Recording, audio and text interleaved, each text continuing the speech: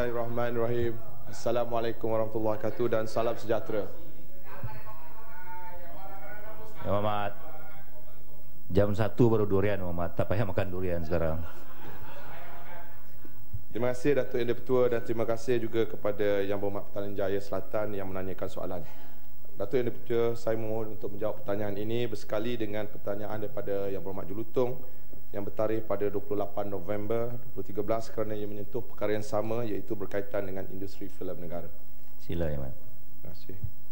Untuk makluman yang uh, berhormat, uh, berdasarkan Akta Perbadanan Kemajuan Filem Nasional Malaysia atau FINAS 1981, definisi filem telah ditarifkan termasuk filem cereka, filem pendek, filem subjek ringkas, trailer, dokumentari, filem iklan dan apa-apa rakaman pada apa-apa jenis bahan termasuk pita video, ceper video berupa acak-acak bergerak sama ada disertai dengan bunyi atau tidak untuk dilihat oleh orang ramai atau mana-mana golongan orang ramai.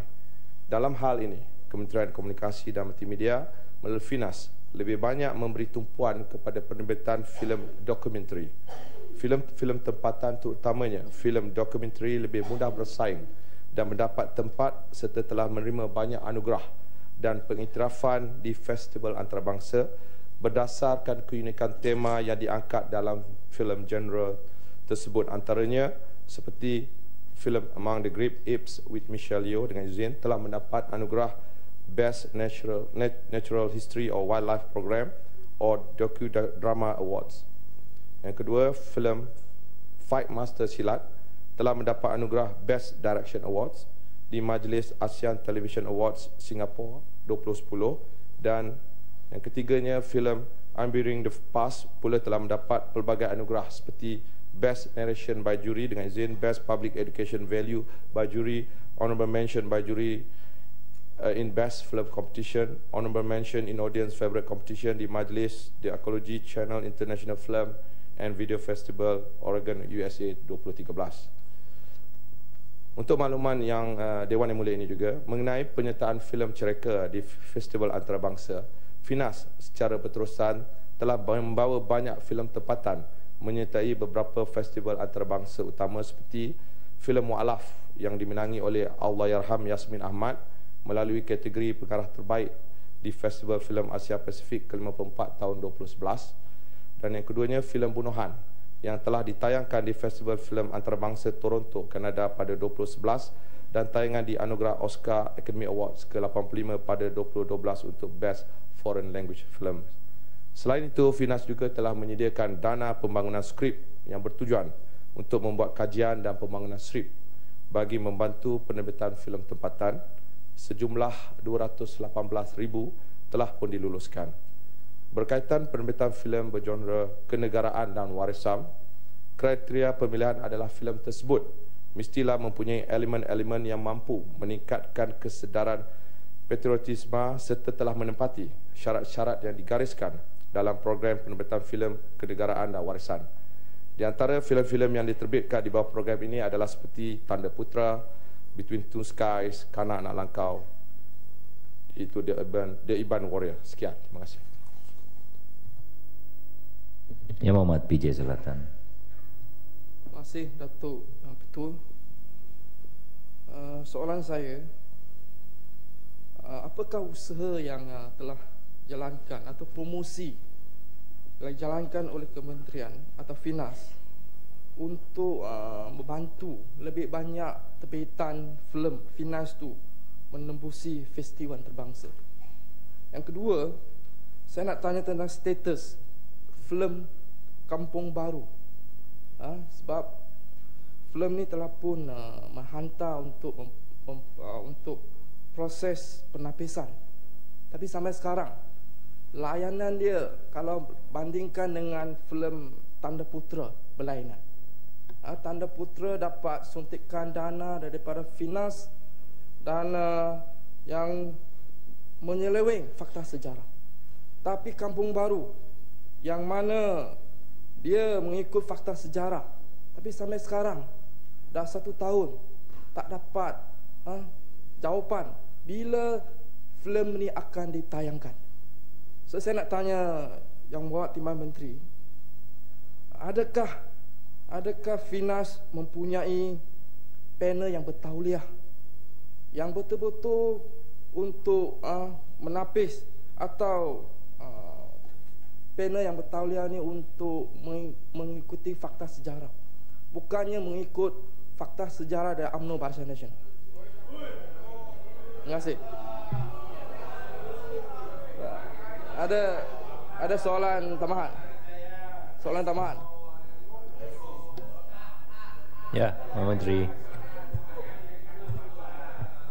Terima kasih. Terima kasih Yang Berhormat uh, Talin Jaya Selatan. Ada dua soalan. Yang pertamanya berkaitan dengan uh, apakah promosi. Untuk makluman yang berhormat PJ Selatan, Finas kita tahu uh, peranannya adalah antaranya untuk menggalak, memelihara dan memudahkan kemajuan perusahaan filem. So uh, biasanya Finas secara amnya memberi bantuan kepada pengusaha sama ada dari segi galakan, latihan, bantuan kewangan, kemudian produksi maupun khidmat nasihat dia ada di dalam website apa-apa keperluan yang diinginkan uh, oleh uh, setiap penerbit filem. Dan untuk soalan yang kedua mengenai status uh, uh, filem New Village. Untuk makluman yang berhormat, saya ingin perjelaskan bahawa Finas bukanlah satu badan untuk menapis filem. Dan uh, dalam hal ini untuk filem New Village, perkara ini kita pun telah dinyatakan sebelumnya bahawa ianya perlulah melalui uh, lembaga penapis filem di bawah KDN. Dan uh, saya percaya untuk kes ini uh, ianya adalah di, di ruang langkup KDN untuk memerlukan kelulusan dan sebagainya. Saya dan saya, saya dah menjawab soalan itu. Tuan Speaker, soalan tambahan. Ya, silakan. Uh, terima kasih Tuan Speaker. Saya tertarik dengan penjelasan berkenaan dengan uh, pembangunan filem di Malaysia. Tapi saya heran juga Petaling Jaya Selatan tadi kata Tanda Putra tak ikut fakta sejarah. Tapi dia tak buktikan di mana fakta sejarah yang yang tak diikuti itu. Jadi saya ingat nanti PJ Selatan boleh bagi penjelasan masalah lain lah. Uh, Tuan Speaker, saya nak merujuk kepada yang berhormat menteri ya berkenaan dengan uh, perkembangan filem di Malaysia.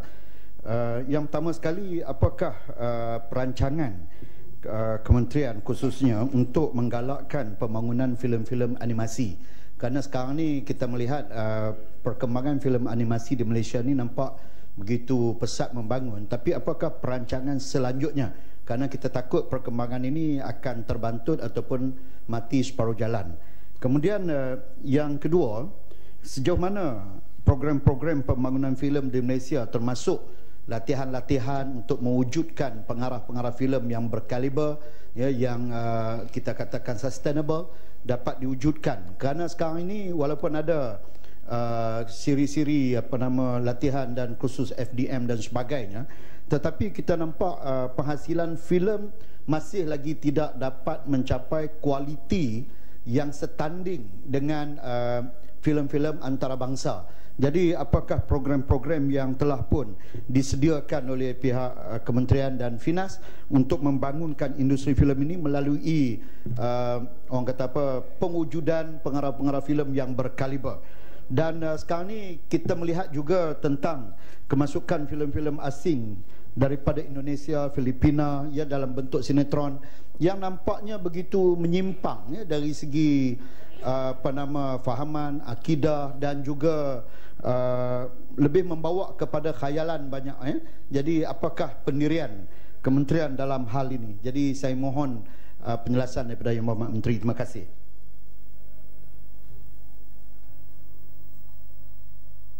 Terima kasih Yang Berhormat. Sebenarnya uh, dia untuk Finas sendiri terdapat beberapa pelan yang telah disediakan. Antaranya dalam untuk pelan jangka pendek, kita akan uh, memasarkan beberapa filem di peringkat antarabangsa uh, di mana uh, beberapa inisiatif telah dilaksanakan dengan beberapa produksi filem. Dan untuk uh, pelan jangka panjang, uh, terutamanya kita akan menganjurkan beberapa forum global untuk kerjasama produksi antarabangsa, menambahkan dari segi tenaga mahir industri yang untuk mendapatkan pertaulihan dan sebagainya. Dan untuk maklumat yang berhormat juga terdapat beberapa dana di bawah uh, industri uh, di bawah Finas yang membolehkan mana-mana uh, penerbit untuk uh, terlibat sama. Seperti misalnya untuk filem animasi. Kalau kita lihat terdapat beberapa filem animasi yang telah berjaya mencapai dan uh, untuk makluman yang berhormat uh, uh, juga di bawah Kementerian Komunikasi dan Multimedia uh, bukan hanya Finas uh, sesatunya agensi kita ada lagi dua lagi agensi iaitu Suruhanjaya Komunikasi dan Multimedia di mana kita terdapat satu pertukaran di bawah industri kreatif dan yang keduanya di bawah uh, MDEC di mana kita ada dana yang uh, khusus untuk animasi dan kalau kita lihat sebelum ini beberapa filem seperti Upin dan Ipin, uh, Bobo Boy dan uh, pelbagai uh, filem-filem lagi yang telah uh, berjaya uh, hasil daripada dana yang diwujudkan di bawah uh, MDEC. Saya harap saya menjawab uh, jawab soalan eh, yang buat. Terima kasih. Sejumpa yang Muhammad.